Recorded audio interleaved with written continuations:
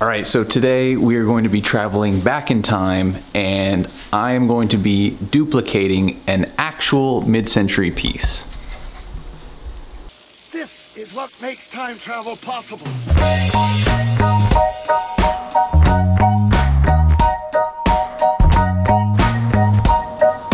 That's my Marty McFly impression.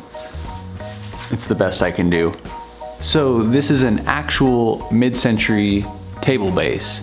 And I'm not exactly sure when it was made, but I know that there is supposed to be two of them. The owner of this table moved and the moving company actually lost one of them. So they have asked me to duplicate this table base the best that I can. Now I don't often take jobs like this as duplicating something vintage can be pretty tricky and when I'm building a piece I usually, and not to sound too artsy fartsy, but I usually build pretty organically. I don't worry too much about specific dimensions. I just worry about the overall look and proportion. But I figured this would be a good challenge to get as close to the original as I possibly could. So the first thing I did was make a plywood prototype to figure out all the angles and the dimensions. And as you can see, there were quite a few angles on this piece. We have this kind of tapered triangular column. And then I also had to figure out the joint between the leg and the center column, which was pretty tricky. So once I had everything more or less worked out, I started on the real thing. And I began with the center column and I marked and cut one edge of each side piece and it required a 60 degree bevel and a pretty good taper from top to bottom.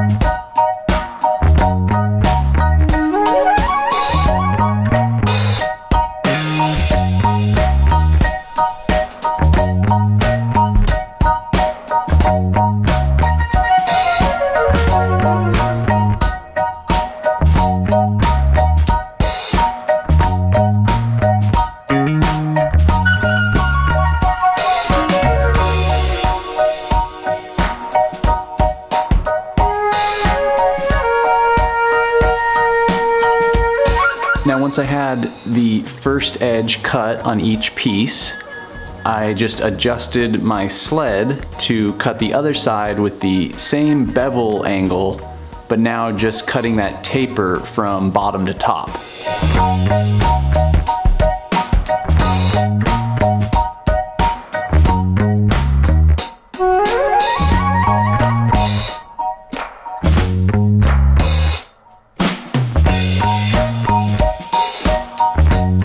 Once I had everything cut, I cut in some mortises for dominoes to keep everything aligned during the glue up.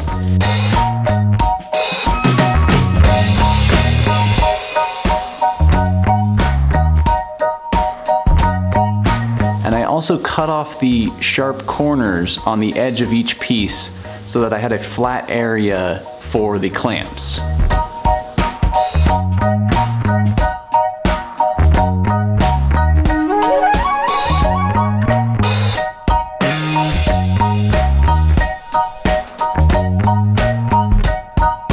Was able to trim the entire column to length and that required a tricky kind of compound angle cut where I needed the blade to be angled as well as the miter gauge.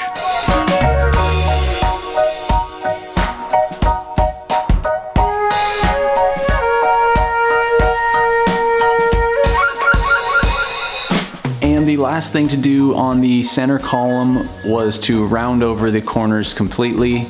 And I did this with my router table and I just kept taking passes until I got a smooth and consistent round corner along the entire edge.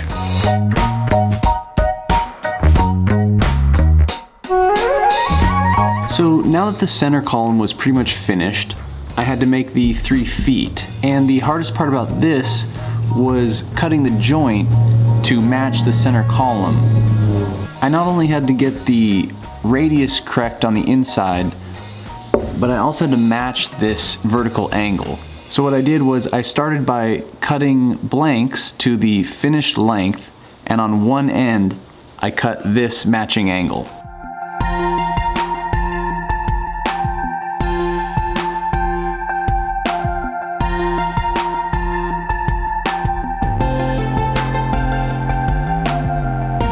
Then needed to drill a half inch diameter hole which matches the roundover on the center column. And I needed to drill it at the same angle as my vertical sides of the column.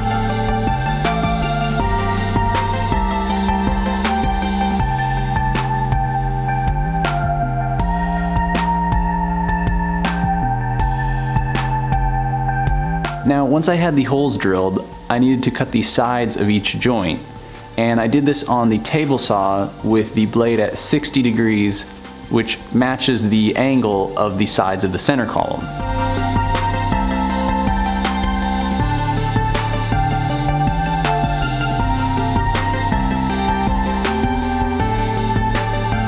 The joints took a little bit of finessing with files and sandpaper, but they were pretty close right off the saw. And once I had each joint finished, it was just a matter of cutting the final shape on the bandsaw, sanding everything smooth, and then finishing that shape with a big 3 quarter inch roundover.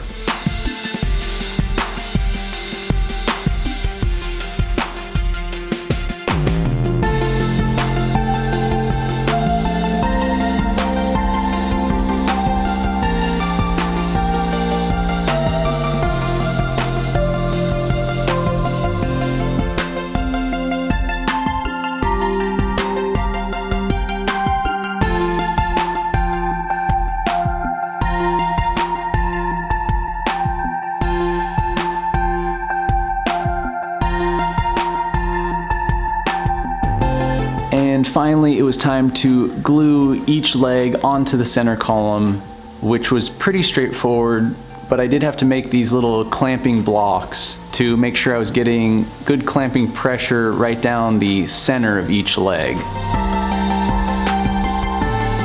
Now, the last part of this whole thing was to try and stain the new table base to match the original, and that might have been the hardest part.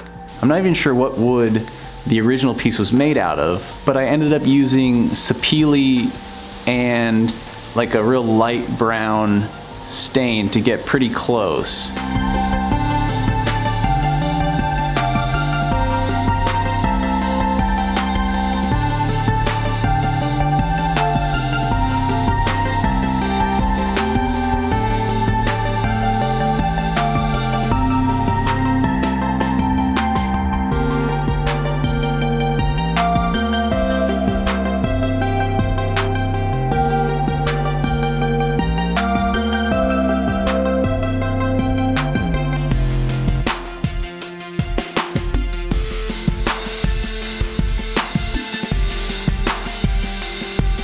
All right, not bad.